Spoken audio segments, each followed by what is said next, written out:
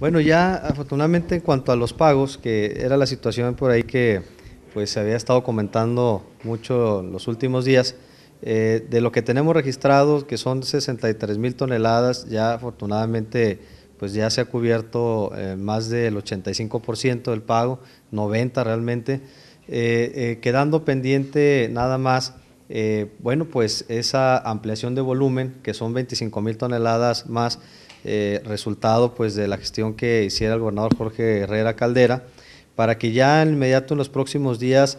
pues comience a copiarse ese volumen que sabemos pues también va a tener un impacto muy positivo. ¿Por qué lo decimos? Porque desde hace dos semanas precisamente cuando se diera el anuncio de la ampliación del volumen, pues el precio del frijol repuntó. Eh, a lo mejor, eh, eh, bueno, pues sí, la verdad es que repunta de manera considerable y eso pues le da también cierta certidumbre a los productores y a los, a los acopiadores que, que, lo van a, que van a adquirir el frijol, de que pues tenga un precio eh, por arriba de lo que bueno en los meses de enero y febrero se ha venido comprando.